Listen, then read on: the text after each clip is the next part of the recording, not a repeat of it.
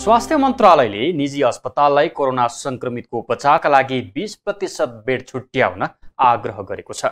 मन्त्रालयले काठमाडौँ उपत्यका लगायतका विभिन्न अस्पतालमा सङ्क्रमितको उपचार गर्न बेड अभाव भएको भन्दै उनीहरूको उपचारका लागि निजी अस्पताललाई बिस प्रतिशत बेड छुट्याउन भनेको हो। अहिले अस्पतालमा भर्ना भएका बिरामीहरूमा कोरोना परीक्षण रिपोर्ट पोजिटिभ आएपछि स्वास्थ्य मन्त्रालयको निर्देशन बिना रेफर भइरहेको छ। मन्त्रालयले कोरोना सङ्क्रमितलाई उपत्यकाभित्रका अन्य अस्पतालहरूमा पठाउन पर्ने अवस्था आएमा अस्पतालको समन्वयमा मन्त्रालयको अनुमति लिएर मात्र पठाउन अनुरोध गरेको छ।